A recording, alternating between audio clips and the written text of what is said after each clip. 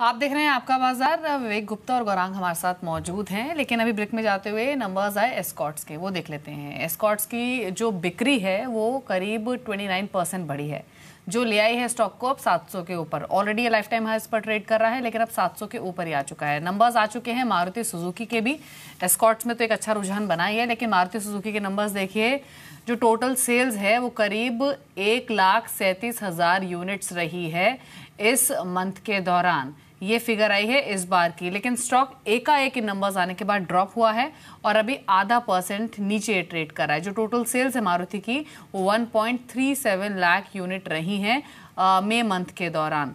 Expectations थी कि जो इस मंथ की सेल्स हैं, वो 19 परसेंट ग्रो हो सकती हैं। तो अगर हम एक कंपैरेटिव फिगर देखें तो सिर्फ़ 11 परसेंट की ग्रोथ आई है। एक्सपेक्टेशंस थी 19 परसेंट की ग्रोथ के साथ Maruti Suzuki passenger vehicle segment में in terms of sales lead कर सकता है, लेकिन शायद ये डिसअपॉइंटमेंट है कि ये स्टॉक अब आधा परसेंट नीचे आ चुका है, क्योंकि सिर्फ़ जो ग्रोथ है वो ग्यारह परसेंट की रही है। यानी जो प्रोजेक्शन थी उससे ऑलमोस्ट हाफ़ ये नंबर आता हुआ दिखा है मारुति सुजुकी का। एक्सपर्ट कमेंट भी ले लेते हैं। अश्विन, अश्विन पाटिल, पाटिल हमारे साथ हैं उनसे बातचीत करते हैं। अश्विन गुड मॉर्निंग अभी मारुति का जो सेल्स नंबर आया है ये टोटल सेल्स इनकी करीब एक लाख सैंतीस हज़ार यूनिट रही हैं। यानी जो परसेंटेज टर्म्स में देखें तो सिर्फ़ 11 परसेंट का उछाल है। एक्सपेक्टेशंस 19-20 परसेंट की थी। आपकी एक्सपेक्टेशंस क्या थी और ये जो फिगर्स आई है कैसी लग रही हैं? जी हाँ मुझे भी लग रहा था कि तकरीबन 1.45 लाख के आसपास आ जाएगा नंबर हम्म। लेकिन 1.37 लाख थोड़ा सा डिसअपॉइंटमेंट है। देखना होगा कि एग्जैक्टली exactly क्या हुआ है। तो मेरे ख्याल से अभी थोड़ा ब्रेकअप आप अगर बताएँगे मुझे तो मैं उसके ऊपर mister Patil I have the breakup with me जो डोमेस्टिक सेल्स है वहाँ पर 15 परसेंट तक के आसपास का इजाफा हुआ है लेकिन डेंट जो देखने को मिला है एक्सपोर्ट्स पर देखने को मिला है। 36 परसेंट तक के आसपास यहाँ पर एक्सपोर्ट्स डिप हुए हैं। तो उस लिहाज से अभी आप क्या कहेंगे? मुझे वही लग रहा था कि डोमेस्टिक में तो बढ़िया नंबर रहेंगे क्योंकि मई में तो मैरिज सीज़न रहता है मैरिज हम्म। सीज़न के चलते हुए मुझे लगता है कि आ, आ, मेरे एक्सपेक्टेशन थे 12 से 15 टका ग्रोथ डोमेस्टिक। में और about five six percent growth मुझे एक्सपोर्ट्स में लग रहे थे बट एक्सपोर्ट बिज़नेस जो है वो बहुत एराटिक है हम्म। वो uh, कभी बहुत ही वोलेटाइल है वो कभी अच्छा गेन दिखाता है तो कभी फॉल दिखाता है मेरे ख्याल से कुछ शिपमेंट्स जो एक्सपोर्ट के लिए जाते हैं जो समुन्द्र के रास्ते से जाते हैं हम्म, हम्म। वो उसमें कुछ कभी कभी डिले हो जाते हैं shipment get transferred get get you know push to next month तो अभी जून में शायद एक्सपोर्ट्स अच्छे दिखेंगे. बट मेरे ख्याल से फिर भी कुछ एक्सपोर्ट मार्केट्स है जिधर थोड़ा सा प्रेशर है थोड़ा अफ्रीका में थोड़ा सा कुछ नाइजीरिया में प्रेशर है लैटिन अमेरिका में थोड़ा सा प्रेशर है बट साउथ ईस्ट में और अपना जो श्रीलंका ने यानी अश्विन आप कहना चाह रहे हैं कि जून में एक्सपोर्ट्स बिक्री में रिकवरी दिख सकती है? दिख सकती है शायद बट okay. uh, कैसा है कि uh, मारुति का वही ट्रेंड रहा है एक हाथ महीने में बहुत ज़्यादा घट दिखती है ठीक है। तो uh, दूसरे महीने में उसका इम्प्रूवमेंट दिख जाता है। ठीक है। पैसेंजर व्हीकल सेल्स जो है वो आठ परसेंट पर आई हैं।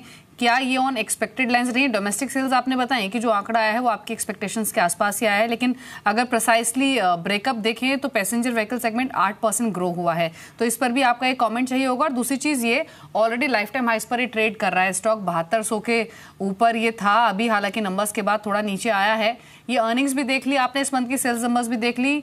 How do you rate this stock now passenger vehicle number के ऊपर अगर मैं कहूँगा तो वो उतना एक्सपेक्टेड था आठ दस टका का एक्सपेक्टेशन था because Baleno is doing good and उसका इग्निस जो भी लॉन्च हुआ है इग्निस दो तीन महीने पहले वो भी बढ़िया परफॉर्म कर रहा है। फाइव सिक्स थाउज़ेंड यूनिट्स वो सेल कर रहा है एवरी मंथ अभी अगर आप स्टॉक प्राइस देखेंगे तो मेरे ख्याल से सेवेंटी टू हंड्रेड थोड़ा ज़्यादा ही प्राइस ही लग रहा है। Twenty four twenty five times valuation on F I लग रहा है जो मुझे काफ़ी महँगा लग रहा है। हम्म। तो वो थोड़ा सा उसमें अभी करेक्शन आना जायज़ है काफ़ी।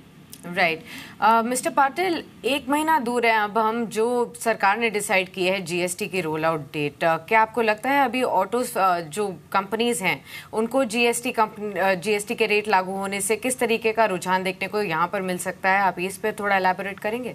जो जो एक, जो एक्साइज रेट और जो जो सब कॉम्बिनेशन था रेट्स का पहले उसी उसी के आसपास जीएसटी के रेट आए हैं। तो मुझे मेरे ख्याल से कुछ ज़्यादा फ़र्क नहीं पड़ेगा। ठीक है। शुक्रिया अश्विन आपका बातचीत करने के लिए जी बिज़नेस से। अब इंटरडे लोस पर मारुति सुजुकी आ चुका है। एक परसेंट का ड्रॉप स्टॉक में देखा जा रहा है। छोटा कमेंट चाहिए गौरांग आपका। मारुति पर भी जो नंबर्स के बाद एक परसेंट नीचे है और एस्कॉट्स पर भी जो कि नंबर्स के बाद एक परसेंट से ज़्यादा की मजबूती दिखा रहा है। दोनों ही स्टॉक्स लाइफ टाइम हाइस पर ऑलरेडी ट्रेड कर रहे हैं। दीपाली मेरे ख्याल से इस तरह की, की मामूली सी गिरावट पहले तो आपका जो निवेश है लंबी अवधि के नज़रिए से उसको किसी तरह के परिवर्तन के लिए मजबूर आपको नहीं करना चाहिए पहली बात। ये नीजक रिएक्शन है। हर एक महीने में अगर आप महीने दर महीने बिक्री के आंकड़े देख करके रिएक्ट करेंगे तो आपका निवेश कभी भी सफलतापूर्वक साबित नहीं होगा। तो ये चिंता आपको नहीं सतानी चाहिए। जहाँ तक रहा भविष्य का सवाल नए लॉन्चेस को लेकर के एक्सपोर्ट मार्केट को लेकर के हम काफ़ी सकारात्मक है मारुति के ऊपर। एस्कॉट का सवाल है 360 के आसपास मुझे बहुत ही स्पष्ट रूप से याद है कि आप ही के चैनल पर मैंने एस्कॉट्स में निवेश की सलाह दी थी। लक्ष्य पाँच का था 700 के ऊपर काम कर रहा है।